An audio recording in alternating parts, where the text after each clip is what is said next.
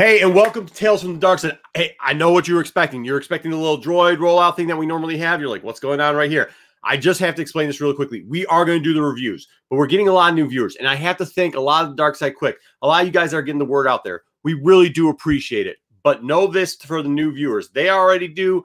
You'll find it out. We spoil stuff. We really do. We don't want to spoil this for you.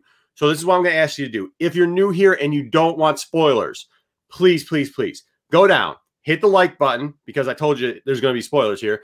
Then make sure you hit the subscribe, hit the bell, go read the book. When you feel comfortable, come back and we're going to spoil it. Listen, we don't just give you the whole book, but we are going to show you panels. We are going to go over color covers. We are going to do a little bit of theory crafting, and it might not be good if you sit here the whole time for all the other people, make sure you give us a thumbs up too. We really do appreciate you guys and everything you've done for us here on, on the Dark Side Crew.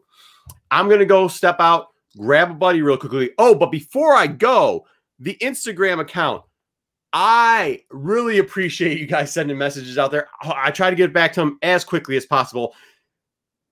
All the people that are sending me the little like my head cut off, put on top of a, a certain Jedi, or in a hand while somebody's blasting first. I love them. If they're good enough, I put them up there for you and I'll give you credit. Please keep sending those. They're really fun. I do like to laugh at myself. I understand. It's all in fun. Um, but I'm going to go grab my buddy real quickly, my co pilot, and I'll be back.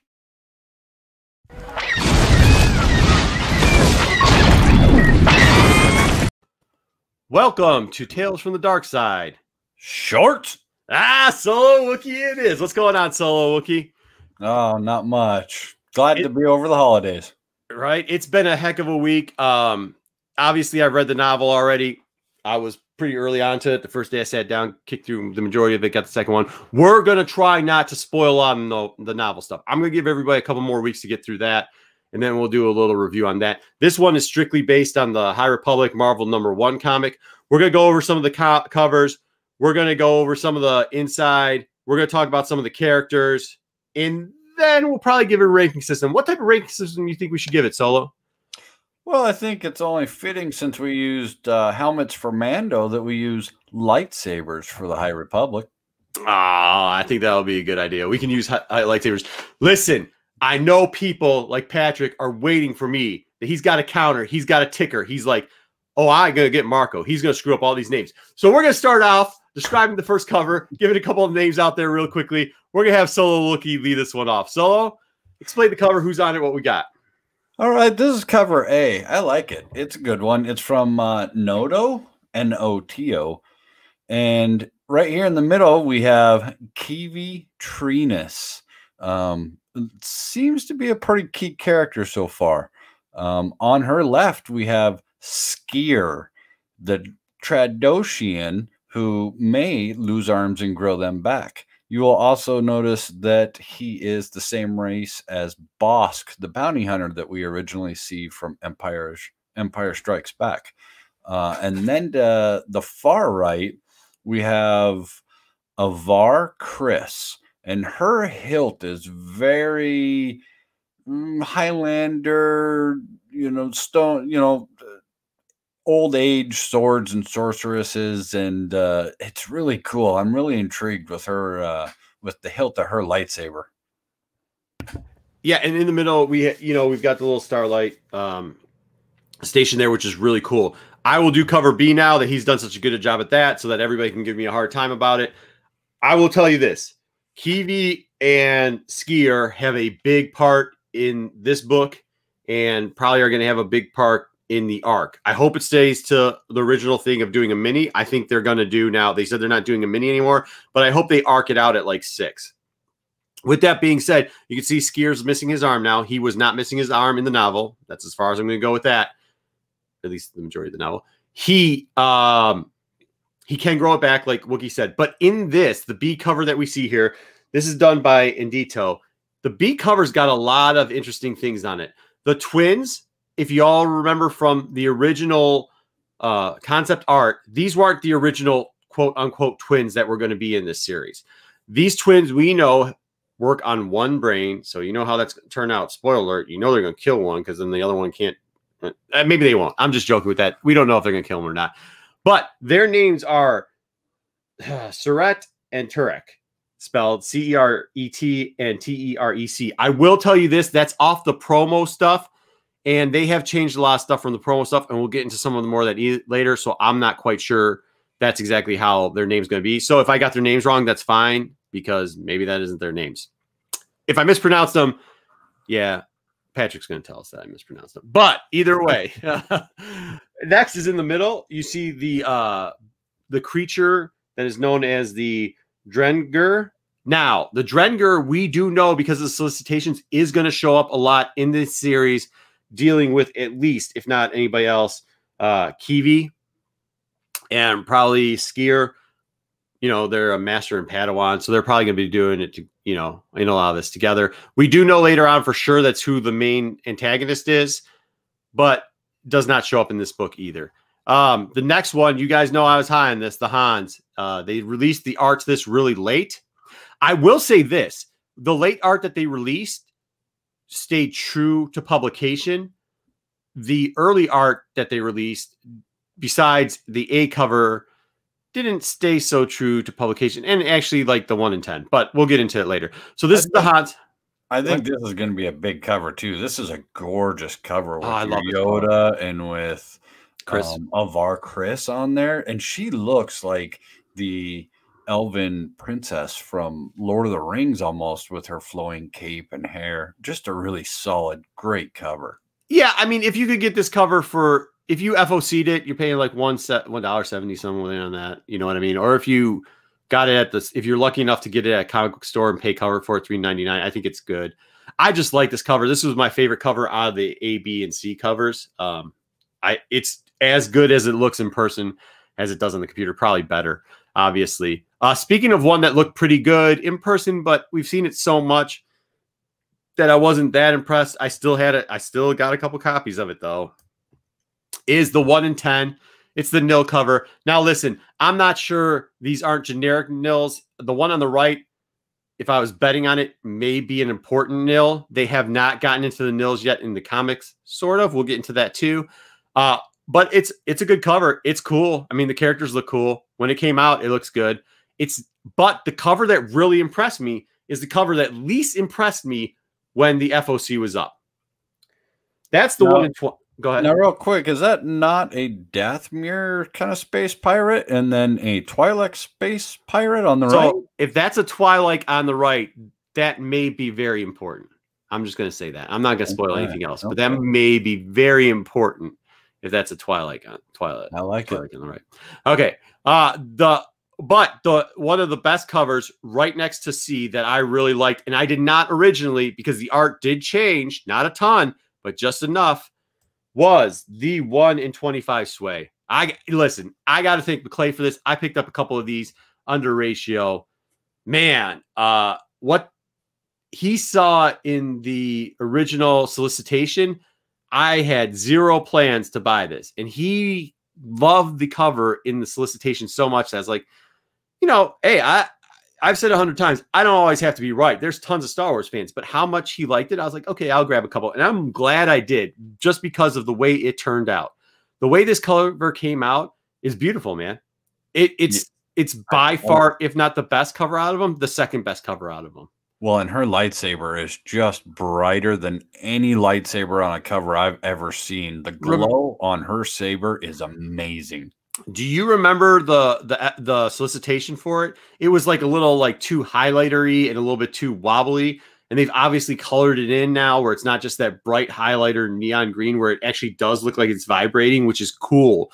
It really God, it's so good. And this part has to do with something in the book, which is amazing. Like it's it's really cool. I hey, I'm big enough man to admit it. When I was wrong, I was wrong. I did not like it. Well, with that being said, I was wrong about the 125, except for the fact that McClay did tell me to get it up, and this isn't exactly the cover that they showed us it was going to be, right? uh, so, hey, great cover. I love all these covers. All of them were great. I think I'm a little fatigued with the one in 10 because we saw it so much, and the uh, the A cover. But look, you you know I'm a fan of the, the Hans cover, but I like Hans's art anyway, so so she's good. Stephanie's good. Uh, I will do. I will tell you this. This technically didn't come out this week. It's probably going to come out in a month. A lot of people, it was passed over because it was really quick. There's like a one week ordering period. There is a second print cover already, and it looks like this is what they're hopefully going to stay with. Like I said, they're changing a lot of stuff after solicitation, but it, this is what the cover is supposed to look like. This is right out of the solicitation. This is also the splash page for the end. We will get into this page. This is one of the pages that we have pulled to describe what's going on in this page. We'll get into it. But let's start off at the beginning. They're doing something real cool here, man. Now, this right here is something that I'm so happy that they're doing. I don't know about you, Solo Wookie, but every time I read the novels, it gets longer and longer. It's almost about three intro pages. They do a timeline breaking down where each book stands, each book coming up stands, where the movies are, everything else. I really like that they added this in there to help not only our regular deep divers, but even our surface dwellers of fandom right into this timeline. I mean, I lose my place in the timeline all the time. So to have this, just a genius idea. It is. It's great. And they kept it streamlined, which is really nice because I've heard all types of stuff, even at the store. You know, I spent an hour and a half there. I waited at my store till they had sold out of all the variant covers, which took a little bit over an hour and a half till they had done that. They still had like A, B, and C. They probably still had, you know, a couple more. They had a couple hundred covers left. But look, hearing what people thought this timeline was and what they thought was going on, I'm glad this came out because it helps people out understand the timeline a little better. Hey, listen, one of the reasons I'm great at timeline, I read the novels and they have it broken down there all the time. So it feeds into your head. It gets you that review all the time. So you know what's going on. This is a really awesome way to do it. I just hope they don't get it too cluttered, right? I hope they kind of keep it like this every single time so you know where it is. I hope when they start doing some of the smaller ones, they do like they did to the left, where it says Fall of the Jedi and they have like the movies and stuff out there. I don't want it getting like the novels where it's great for the novels, but I just hope they don't do that that in the comics. I so agree. If they get too much clutter in there, it'll mess things up and make it worse. As long as they keep it simple, keep it clean, I think we're on the right track with this. So it starts off just like the preview pages. If you've been watching Tales from the Dark Side, if you've been watching MCM, pretty much anything we get on, I've been showing these preview pages for a little bit. I have to tell you, man, like Kiwi and Sskeer, this the art is great, right? Like I know people were saying the little imp things here might have annoyed them a little bit. Uh, I don't care. The art is so good. The writing is what it is. Um, but I was just impressed. I was taken aback. I went through a couple pages and I was like, oh man, I have to go back and look. Those eyes over there. I think they put all the impressions on there yeah, sure, they're trying to do a little bit of funniness. You have to remember that this is the generalized Star Wars book. This is the for everybody Star Wars book. Uh, so do probably take it like that. But just the action, the impact, the way the lightsabers glow on the page. We didn't see any hands blow up. I mean, it's great, dude. I thought the art was very good throughout this entire book. I really like the art. It's very it looks clean, like a really, really well done tattoo or like a sticker. It it just the way that the sabers glow just like you said the details and all the little line work it's just very very impressive i will say to start out the word bubbles were a little cluttered and in some other portions they do get a little off and cluttered my only critique of it however the action scenes are really good in this book also one other thing that i like they kind of stuck, and I know I'm bringing up the novels in the show. In the novels, they did kind of the Game of Thrones thing. If you ever read those novels, how they do point of views from certain groups or certain people, they did this a little bit in the, the book too. We come over here, they start introducing other Jedi's to us. Of course, on the Starlight Beacon, you've got Kriss. She's there. Um, I'm trying not to spoil the novel, so I'm not going to get into it as far as that. And then Mur is the uh, other guy here who you see. He seems to be a part of the group with Sskeer and Kiwi.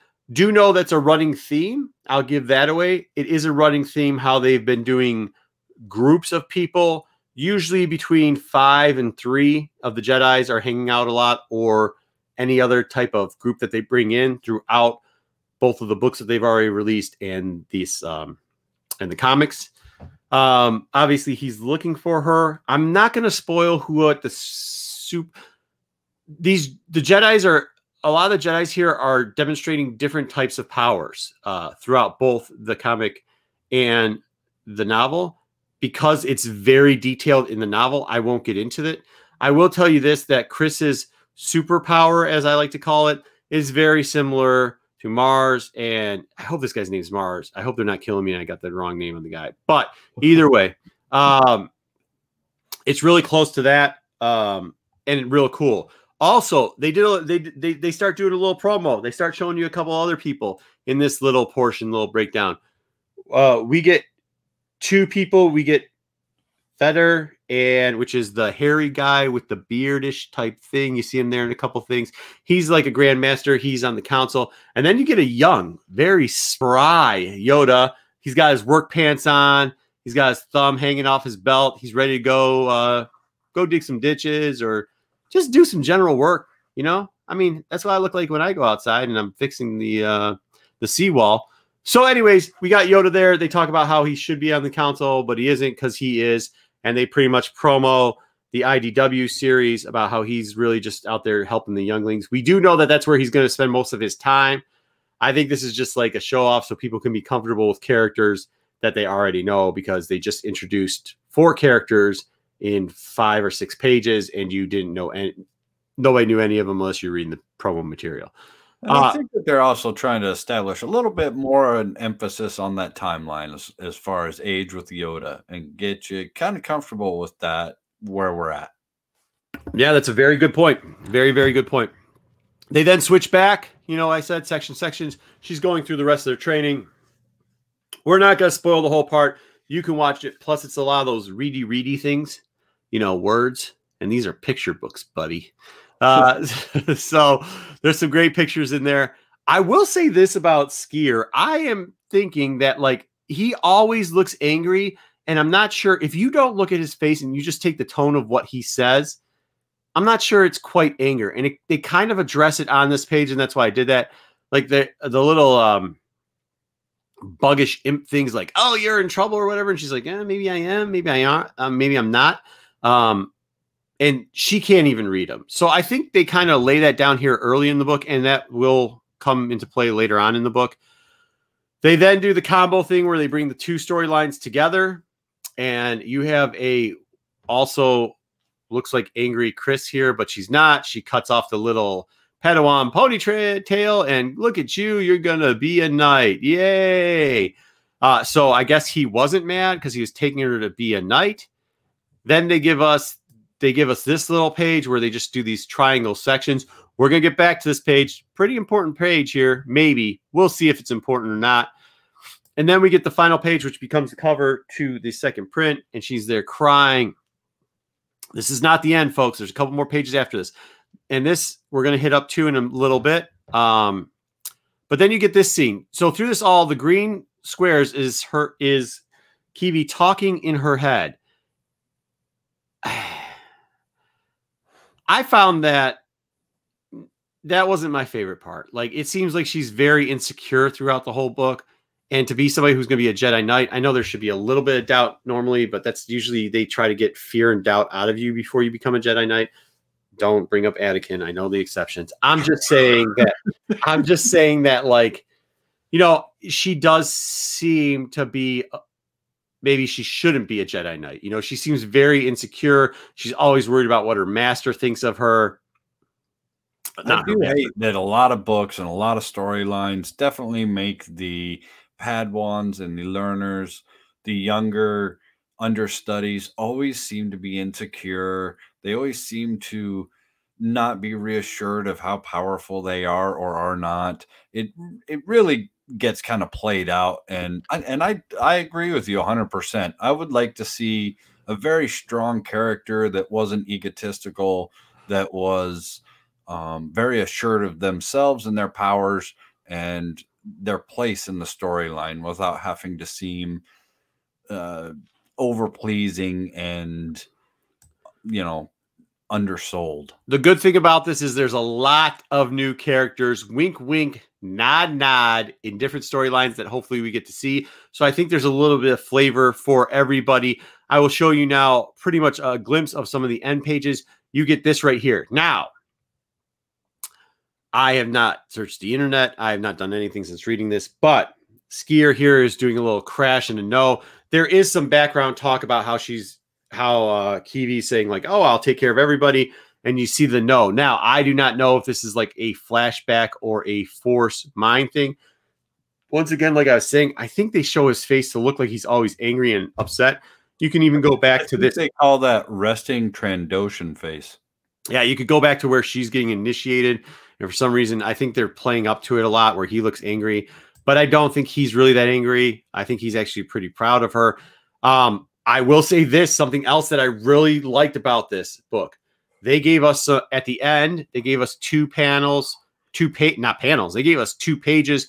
They were shrunk down, uh, but they gave us two pages from the new book sketched out. Hopefully, they stay the same. That has been one consistency. If you see sketch pages for the books, they have showed up in the books. Not so much in the covers, but in the books. And here they are. This right here looks like a gas or smoke attack. I will spoil something right quick. The nil, a lot of times when they attack something, they use this, they use gas. That's like their main first step into attacking. I'm not going to get all into what they do. So as soon as I saw this, I was like, oh, cool. Nil is coming. I do not think anybody on this page is a nil. But then we get the second page, which is the High Republic 2. The art is st- still by Andito, who I think did art through all of one also. Either way, you see a nil looks like about to jump in. It does look like our man sskeer has got or sskeer. Sorry, haven't been pr- pressing the S's. Patrick, there you go. See, sskeer, two S's. Uh he, he, he I love that he does that too, by the way. He, uh you see that the the nil is it looks like a nil is about to jump down and try to attack him. I hope because it looks like he's only got one arm here. I hope that it's kind of like a flashback. I really do. I hope that they really do focus here early on on the Drengir and they don't try to have both enemies come at them at the same time. I hope we hear how he does. You know, I I just I'm not gonna say anything else. That's what I hope. I I hope that. Now, that covers the book, but what it doesn't cover is those couple pages we told you we'd get back to. So what I did, I don't know. A lot of people have been seeing this. It's been floating around. I chopped it up a little bit. I did a little bit of my artwork to it and did it and try to figure out, hey, are any of these people here? Are any of these people here? Uh, some of these people here, here, or here. So we will start off here with the easiest one. We definitely saw two of the people on the Jedi Council. Oh, by the way, look, Opo's in there. Ah, interesting, huh? Where's Jeddel then? Where is Jeddel? Anyways, uh, Yoda and Veter both did show up. Now, uh, Veter might be the Grandmaster that sticks around a little bit more, and Yoda would presumably he might be in both books. I don't think we're going to see him a ton this book because I know they're going to use him a lot in the IDW stuff. Um, those are those two for sure. We know they're there. Uh, first appearance of Veter, I think, is easily to explain. That was in that book. We definitely saw him. He was addressed. He was in two panels. Whatever. I'm not trying to say it's a first appearance. I'm just trying to say he's in this book. First time we ever saw him. Oh, nice. Okay. Next, easiest thing to explain. These people cover, yes, for Terec and Ceret. Hey, hopefully that's how you pronounce it. Hopefully they change the name and then I get a second chance at it. Uh, we also get Maru and did I say it? I think I got it right. Maru. Oh, excellent. Good memory. And then we've got, of course, the two key players here, Sskeer and Kavi. Hey, Kiwi. Kiwi. Yeah, those two, I really do think. So the blue box is people that we know were in the inside, right? The greener box was all the people that have been seen on one of these covers or within certain things. And this green box also indicates major players that I think are going to be in multiple of these issues. I would be surprised if we did not see the twins by at least the third solicitation. I think they're going to be in the second solicitation or the second book, but if by the third, just because of what the previews of what the third was, I'd be surprised if they weren't in there. But once again, that cover B has them. So if you really are into just seeing them for the first time, that would be it. Now let's get into a little bit more of the complicated portions of it. This is a little bit more complicated here. We got a ton of circles. Probably should have figured out that I should have made the colors of the circles a little different, but I didn't. It is what it is. Not the best of things. All right. So in the last six minutes, I'm going to cover this and we're going to grade it. Here we go. Kriss, uh, she definitely is there. Oh, yeah, yeah. So let's go back to this picture. Kriss, we got Kriss. She's there. We've got her picture. Uh, also in this, in the second pie panel, we see a Wookie. I'm gonna go with his nickname as Burr. Uh, yeah. Bur- Burryaga? Burryaga. Burry. Okay. We're going to go with Burr. He does show up in the novels. Pretty interesting character. I do think that most likely that is the character. Two that isn't here in the audience. Also, if you look at the hammerhead species, we do have a hammerhead that shows up in the kids' book. Uh, Sutman, Sutman, whatever. I screwed that up. Ding that one. Give it to me. I'll take that one on the chin. Um, I'm not quite sure that those two are going to show up. I'm not sure that those two are going to show up a ton in this book, but I'm pretty sure that they might show up every once in a while. Uh, just especially Burr. Um, in the page, it's going to be the cover. The purple lightsaber person. I think that that person turns out to be Mann. Uh, Mann has a very special relationship with Kriss. I'd be highly surprised if he doesn't show up in every book she shows up in if not most of the books and storylines that she shows up in in the novel he in the novel he is grouped in there burr also has a lot of interaction with kriss in the novel so like i said i would be surprised if those two don't show up Gilios uh, is also somebody who they changed around his looks from what he originally looked like uh, to what he looks like now also has a little bit of a he's a little interesting of a character we won't get into him he definitely if that's not him, right behind Sskeer, I don't know who it is. I will note this real quickly. Uh, over here, three of my top favorite characters. So when I was saying that these were in groups, one group is Kriss, Mann, and then uh Stellan, how do you say his name? Stellan kind of switch in and out with each other. Uh, but it's mainly Mann and Kriss are together. Um, another portion of that group that stays a lot together is somebody by the name of Loden Greatstorm, Bell Zettifar, Zettifar maybe, and Stokes. Oh, also uh, Porter. Those four are a group. I will get into that in a different video or on a different uh, show. But that is my favorite group right there. They do travel with. It's not a pet. I'm not going to explain why it's not a pet, but they travel with something in the preview looks, it looks like a dog.